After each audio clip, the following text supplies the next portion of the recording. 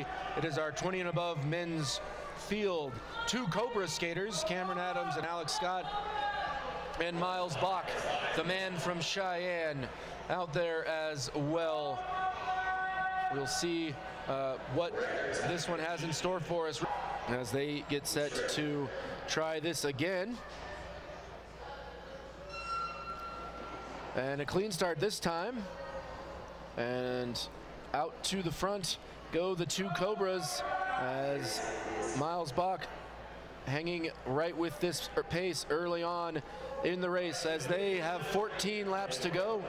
We'll keep talking about our race of champions qualifiers. You got a bunch of Team Illini represented in there. Yeah.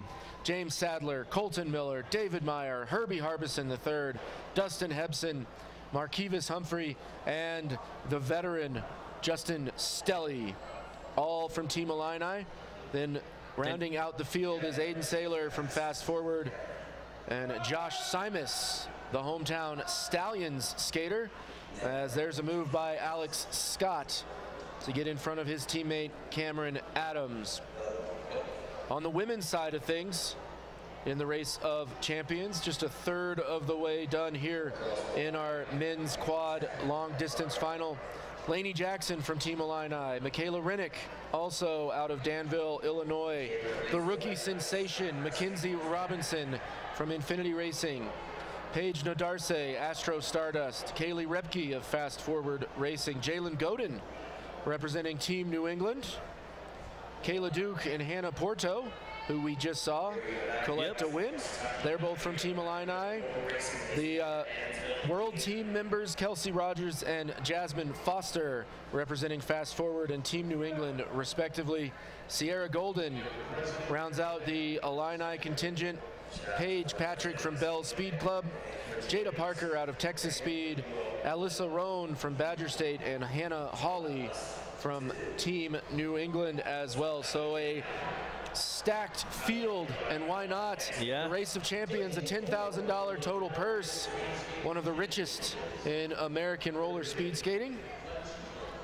Five laps to go here as our two Cobras running one and two, jockeying for position back and forth.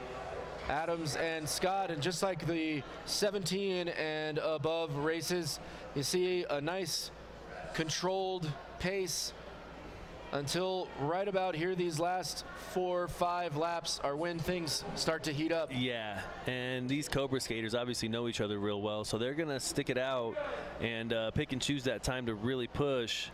But you can tell, you know, 15 laps on those quad skates, the fatigue does set in a little bit. And four to go here expect to see alex scott or cameron adams making a big move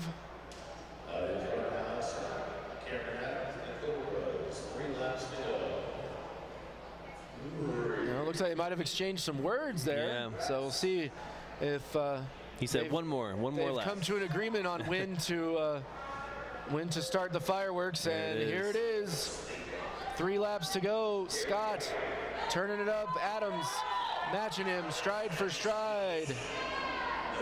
Whoa, a lot of contact there, and oh, Cameron Adams goes down.